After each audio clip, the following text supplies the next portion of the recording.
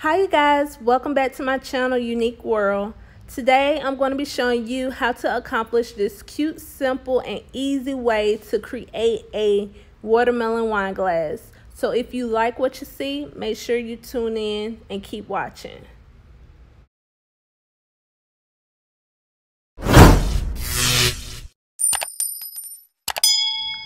Alright, let's get started. Here is a display of exactly everything you're going to need to accomplish this wine glass.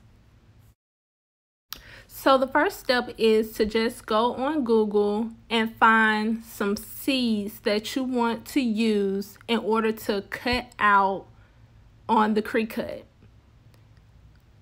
And what you're going to do is you're going to peel the vinyl and they're going to be used basically for like stickers to place on the wine glass.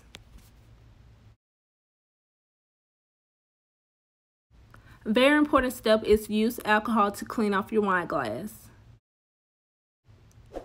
Right here I'm going to be using electrical tape and I'm just outlining exactly where I would like it to outline the cup.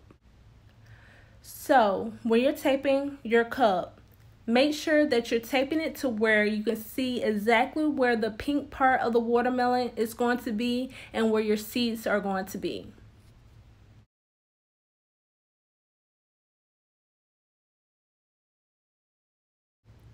And there you go. This is how I taped up both of my wine glasses. Now you're going to clean your wine glasses again with alcohol so that way you can go ahead and stick on the vinyl seeds to the glass. And this will help make the seeds stick on um, very nicely. You can use how many seeds you would like. Um, I just randomly just stuck seeds on the glass and no type of pattern at all. Now it's time to go ahead and grab your Mod Podge so what I do is I just pour my Mod Podge into a little small bowl container um, so that way I don't get any of my glitter mixed up inside the original Mod Podge container. And I'm just going to slightly put on a thin layer of the Mod Podge so that I can go ahead and put glitter on the cup. And you got to work fast because it dries very quick. So right here, I'm just to put some of the pink glitter all over the glass to make sure that I cover every part of the glass. And if you, by any chance, just kind of like skip over some parts, don't worry, you're going to be doing another layer of the glitter, the Mod Podge and the glitter. Okay, so I'm doing two cups and this is just me doing a repeat of the first cup, putting Mod Podge on the wine glass and then I'm going to go ahead and put the glitter on. And I'm just shaking glitter all over the cup, making sure that I'm getting every area of the cup Okay, so glitter is gold. So what I'm doing is I am trying to put the unused glitter back into the glitter container so that I can use it for another project. And this is how the cups look so far. Two hours later. So this is how the cups look after two hours of being dried. And what I'm doing is going ahead and doing a second layer. And I'm just going to go ahead and put Mod Podge all over the glass once again. And then after I spread the Mod Podge around the cup, I will be going ahead and putting glitter back onto the cup.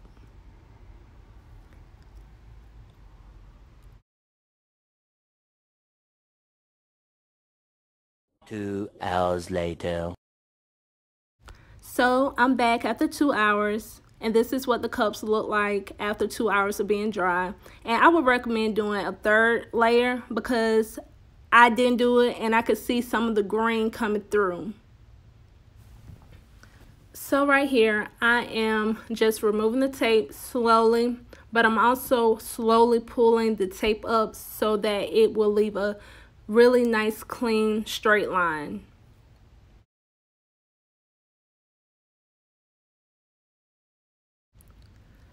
So right here, I am retaping the glass to where I am leaving a gap in between the pink and the glass so that when I do my green glitter, I will be able to see some green outlining the pink part of the glass.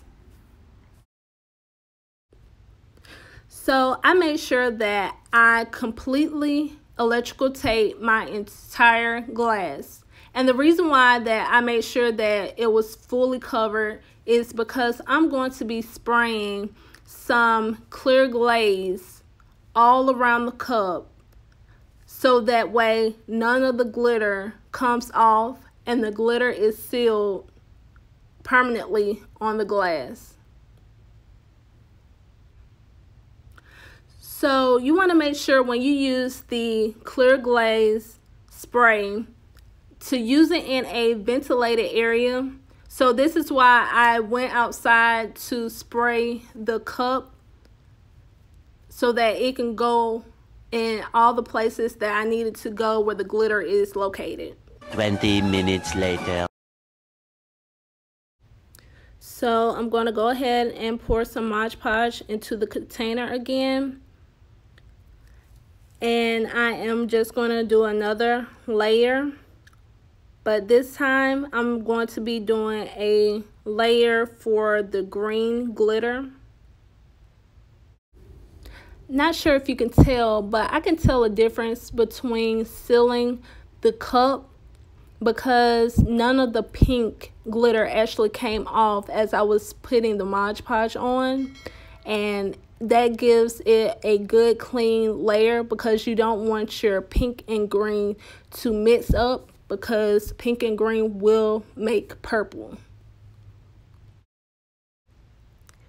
And again, I'm doing two cups, so I am just doing a repeat of what I've done on the first cup, Mod Podge, and then I'm going to go ahead and put the glitter on the cup. And here is what the cups look like with a green layer of glitter. Now it's time to seal the cups again with the clear glaze. 20 minutes later. So I have removed the tape from the glass and now instead of using epoxy, I'm going to be using triple thick glaze. So all you need is pretty much a thin layer. And once again, if you would like, you can kind of do a second layer after it dries after 24 hours. But I actually only use one layer of the triple thick um, glaze. And you're just gonna basically just put it on smoothly. And it's gonna give you that glossy look um, finish. And it's gonna really make the glitter kind of like pop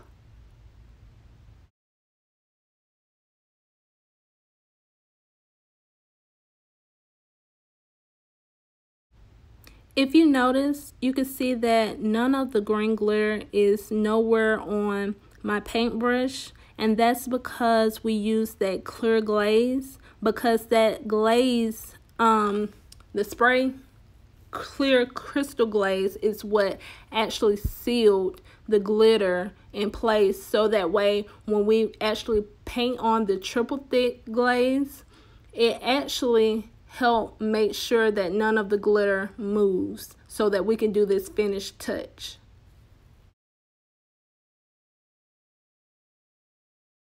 Twenty-four hours later. So this is what the cups look like after 24 hours. And if you look inside the cup, you see that you can see some of that green that I was telling you guys maybe recommend a third layer of pink because that third layer of pink is so thin you actually need to use a third layer to make sure that all you see is pink watermelon instead of some of the green so this is it and if you would like to see more of this um, or if you have any tips that you would like to provide, um, leave it down in the comment section below so that I can read them and continue to provide um, these different types of glasses. And definitely comment, like, and hit that subscribe button. Thanks.